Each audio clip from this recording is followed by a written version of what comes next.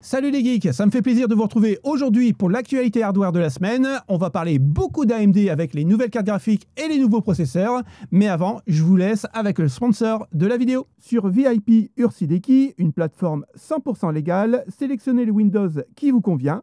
Passez au paiement sans oublier le code CONS pour appliquer la remise exceptionnelle de 25% et récupérer votre clé Windows instantanément.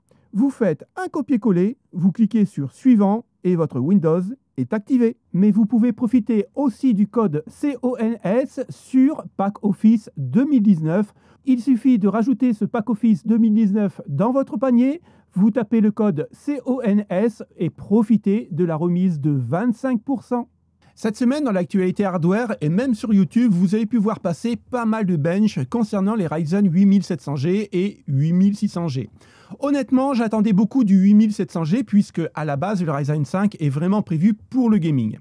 Et pour définir, eh bien en fait, le Ryzen 7 8700G l'emporte, mais quand même haut la main. Donc, très mitigé sur le 8600G.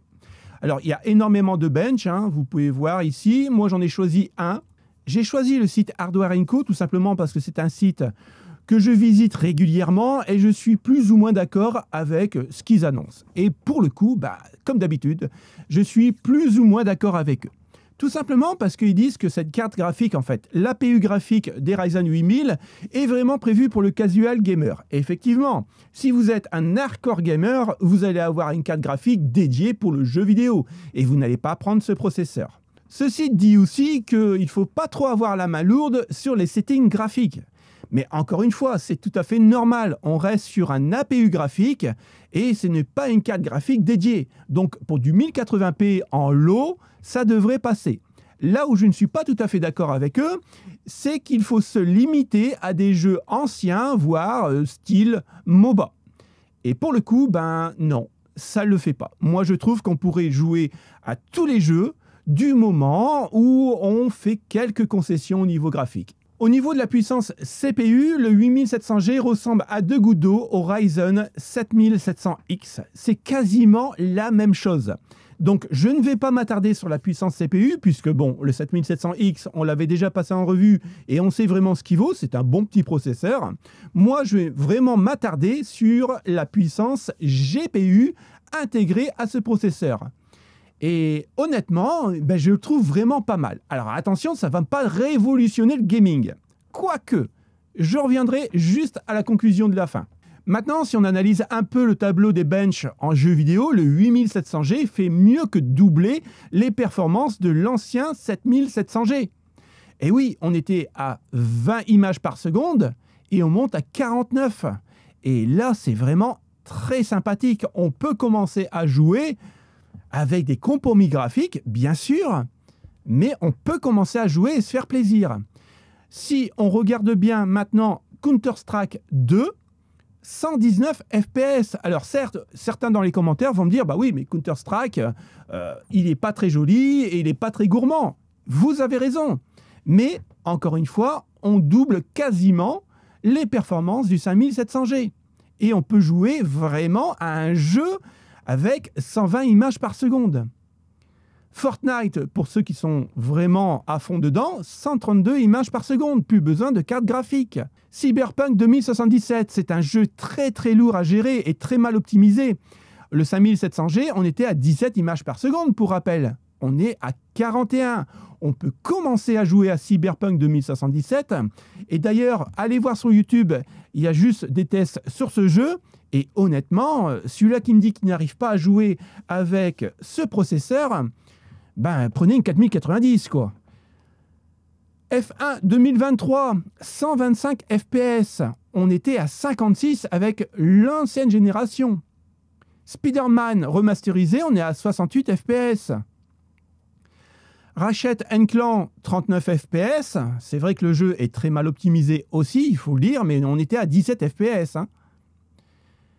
Call of Duty Modern Warfare, si vous voulez jouer à Warzone, vous pourrez avec 74 FPS. Donc oui, il y a une très grande avancée. Est-ce qu'il faut l'acheter pour un PC, on va dire, de bureau? Je ne pense pas que ça soit la meilleure solution, honnêtement.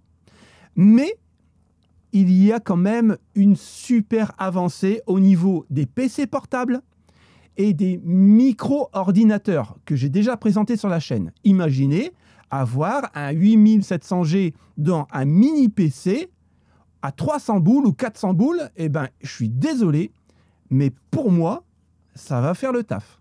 Vous avez envie de changer de bécane, mais vous êtes un peu mitigé sur les 8000G, il vous faut un petit peu plus puissant. Bah écoutez, attendez mai-juin 2024, les amis, puisque les Ryzen 9000 en Zen 5 vont sortir.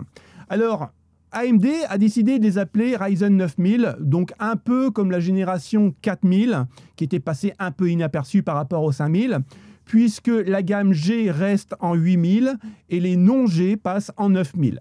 Mais attention, les Ryzen 9000 ne vont pas révolutionner le marché des CPU, loin de là, puisqu'on est toujours sur la même structure des Ryzen 7000 et des Ryzen 5000. Je ne dirais pas non plus que c'est un refresh, puisqu'on a quelques augmentations, mais voilà, ce n'est pas révolutionnaire. J'ai fait quelques annotations.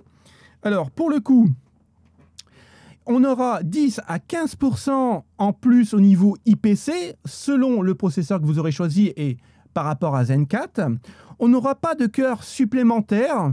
Donc on sera toujours sur la même configuration de cœur qu'on a connue sur les 7000. On aura une augmentation des mégahertz au niveau de la DDR5 puisqu'on est bloqué à 6000 MHz en Zen 4 aujourd'hui avec les processeurs 7000 et là on passera légèrement supérieur à 6400 MHz. Donc pour l'overclockage, ça pourrait être sympathique. Au niveau de la taille, ça sera du 4 nanomètres. La question qu'on pourrait se poser est légitime. Est-ce qu'on aura de nouvelles cartes mères pour accueillir les fameux processeurs Ryzen 9000 avec un nouveau chipset? Alors aujourd'hui, on n'en sait rien du tout. Tout ce qu'on sait, c'est que AMD nous rassure. Ils nous disent que même les premières cartes graphiques sorties en AM5 avec une modification du BIOS pourront accepter les Ryzen 9000. Donc pour le coup, ben, c'est plutôt sympathique. On va parler de cartes graphiques et pour ceux qui ont suivi le Tech Actu la semaine dernière, et d'ailleurs je vais vous annoncer un chiffre vraiment extraordinaire à mon goût, 84,5%, c'est le nombre de personnes qui regardent régulièrement les vidéos sur cette chaîne et qui ne sont pas abonnés. Donc je sais que je vous demande un gros effort, simplement de cliquer sur le bouton abonner si ça vous plaît. D'ailleurs, ça vous plaît, vous êtes 84,5% à regarder toutes les vidéos de cette chaîne et toutes les semaines. Donc, si vous le faites, je vous dis un grand merci parce que ça va faire évoluer la chaîne. Et bien sûr, bienvenue dans notre communauté. La semaine dernière, je vous disais, attendez avant d'acheter les 4000 Super puisque les 7900 XTX vont baisser de prix. Alors, ça y est, en Allemagne, elle a baissé de 200 euros et aujourd'hui, on peut la toucher à 899 euros. Pour une 24 Go, je pense que ça peut être vraiment pas mal, en sachant qu'elle fait aussi du ray tracing. Alors, été fouiné un peu sur le net. Alors, effectivement, j'en ai trouvé une à 965 euros neuf. Hein. Il n'y a pas de promotion. Elle est bien à ce tarif-là. Été voir aussi un peu sur Amazon Allemagne, voir un peu ce que ça donnait. On est à 984,07 euros. Donc, on a quand même un petit peu plus cher que sur le site officiel Min Factory. Hein. Mais quand on regarde bien la 4070 Ti à 939 euros par rapport, on va prendre celle-ci à 965 euros. Alors effectivement, la 7900 XTX est un peu au-dessus au niveau du prix que la 4070 Ti Super. Mais attention, la 4070 Ti Super n'est pas là pour concurrencer la 9900 XTX. La 9900 XTX, son point d'ancrage, c'est la RTX 4080 Super qui sera beaucoup plus chère que la 4070 Ti Super. Donc aujourd'hui, à moins que vous êtes vraiment un gros fanboy de Nvidia et que je peux comprendre parce qu'on a du RT Core et ainsi de suite, mais sachez que AMD fait aussi du ray tracing un peu moins bien que Nvidia, mais ça va pas vous changer la vie, mais elle le fait moins cher. Donc euh, maintenant, c'est à bien y réfléchir.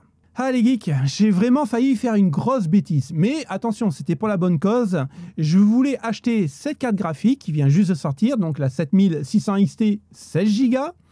Et quand été sur Amazon, je l'ai mis sur mon panier et j'allais cliquer sur commander, je me suis rétracté. Et je vais vous expliquer pourquoi. La première question que je me suis posée, et c'est là que j'ai fait un pas en arrière avant de commander, c'est pourquoi? Pourquoi cette carte existe J'ai regardé pas mal de bench et on va s'arrêter sur trois jeux qui sont encore pas mal joués par la communauté gaming. Cyberpunk 2077, on en a parlé juste avant, c'est un jeu très mal optimisé comme vous le savez, et il faut quand même une belle bécane pour le faire tourner correctement. Quand on regarde bien, en 1080p en ultra, la 16 Go 7600 XT fait 87 fps,7. Par rapport à son ancienne génération 8 Go, on gagne que 7 fps. Allez, je vais être gentil, je vais dire 8 fps. Alors, c'est pas terrible, terrible. Alors, bien sûr, par rapport à une 4060, on gagne 10 fps. Pour vous dire que la 4060 est vraiment à la ramasse.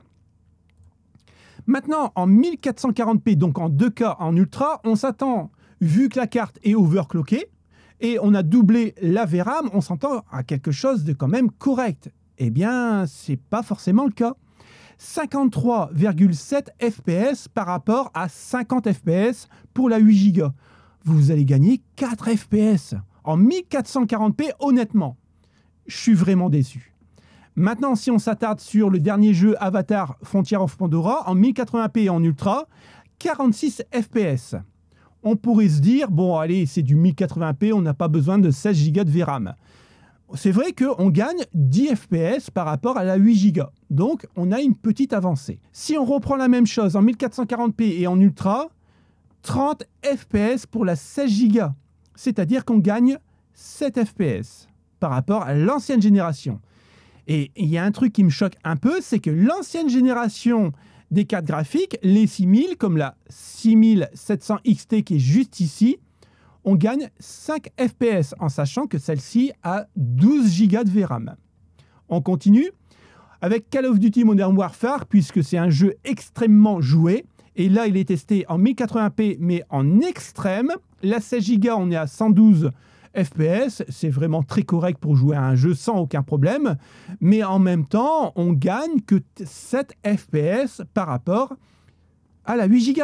Mais c'est pas grave, puisque là, on est en 1080p, pas besoin de 16 Go de VRAM. Voyons voir en 1440p et en extrême, 75 FPS pour la 16 Go, 70 FPS pour la 8 Go. Et si j'ai un petit élément de comparaison, la 6700 XT, encore une fois avec 12 Go de VRAM, on est à 97 FPS.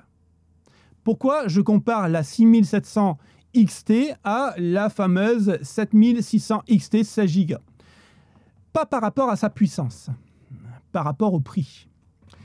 J'étais prêt à acheter cette carte dans ces eaux-là. Sur Amazon, c'est un petit peu plus cher, mais bon, moi je préfère acheter sur Amazon. Après, chacun ses goûts. La 7600 XT de dernière génération avec 16 Go de VRAM, il faut la payer 366,84 euros. OK? Et on a vu que, bon, elle n'était pas si bien que ça. Si vous prenez la 6750 XT avec 12 Go de VRAM qui fait beaucoup mieux que la 6700 XT, 16 Go, on est à 366,84 euros. Pour moi, il n'y a pas photo. Alors honnêtement, pourquoi je l'aurais acheté? Bien sûr, j'aurais pu faire un test sur la chaîne, donc une vidéo supplémentaire. J'aurais pu avoir la monétisation sur cette vidéo. Et peut-être que j'aurais fait baisser les 84,5% de non-abonnés à 82%. Peut-être, ça aurait été que du bénéf. Mais en même temps, d'un autre côté, j'aurais payé 370 euros. Pour, en conclusion, vous dire quoi? La carte graphique 7600 XT 16 Go est sortie trop tard, à mon goût elle est trop chère par rapport à la 7600 de base. Pour moi, elle ne vaut pas le coup. Et deuxièmement, euh, pourquoi AMD nous l'a sorti maintenant, en sachant que les 4000 Super sont sortis, en sachant que les 4000 Super sont quand même au-dessus au niveau performance que la 7600 XT 16 Go, honnêtement, cette carte n'a pas lieu d'exister. Voilà ma conclusion et j'aurais perdu 370 boules. On a deux news importantes concernant Intel, mais je vais vraiment les survoler et je ne vais pas rentrer dans le cœur du problème. Sachez qu'Intel est en train de remettre une corde de plus à son arc puisqu'il annonce une collaboration avec la fonderie UMC, donc une fonderie hein, qui fait tout ce qui est euh, ordinateur de bord, de voiture et ainsi de suite. Donc on voit bien que Intel cherche vraiment ben, en fait, des collaborateurs dans tous les secteurs pour essayer d'avoir les meilleurs processeurs et bien sûr les meilleures cartes graphiques. Et à mon avis, c'est pas pour rien. S'ils le font, je pense qu'ils veulent vraiment damer le pion à Nvidia tant qu'en processeur, tant qu'en carte graphique et surtout sur l'intelligence artificielle. La deuxième info concernant Intel, c'est qu'on a une nouvelle mise à jour concernant les cartes graphiques Intel Arc. Donc les possesseurs d'Intel Arc ne sont toujours pas oubliés par Intel et je pense que c'est un des constructeurs qui fait beaucoup de mises à jour sur leur carte graphique. Et si on pouvait avoir ça sur AMD, ça serait vraiment pas mal. Alors, une petite dédicace à David B qui a gagné le PC Gamer avec la 580 Arc de chez Intel. Fais ta mise à jour parce que ça va permettre de gagner quand même entre 10 et 27, voire même 160, 268% sur certains jeux en 1080p. Donc, ça peut être vraiment très intéressant. Et honnêtement, j'aime beaucoup Intel et ce qu'ils font avec leur carte graphique Arc. Alors certes, ce n'est pas les meilleures cartes graphiques du monde et j'espère aussi que la nouvelle génération de cartes graphiques de chez Intel, donc les Battle et on en a déjà parlé dans la Tech Actu, vont être un excellent cru qui vont être au niveau de chez AMD, voire peut-être même espérer d'avoir le même niveau que chez Nvidia pour un prix assez contenu. On le verra dans les mois qui viennent. Merci d'avoir regardé cette Tech Actu. Et pour ceux qui vont s'abonner, bienvenue dans notre communauté. A plus, salut les potes. Ciao ciao